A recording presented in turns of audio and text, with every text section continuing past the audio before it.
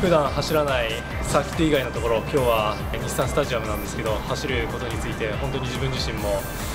ワクワクドキドキしているところですね、えー、本当僕たちミスモチームもマリノスのステッカーを貼って、え、いつもレースしてますし、えー、マリノスの選手の皆さんもですねミスモのロゴをつけていつもプレーをしているということでねお互いがこうサポートし合いあの高め合っていければいいかなと思っていますマリノスを、えー、全力で応援していきたいと思います今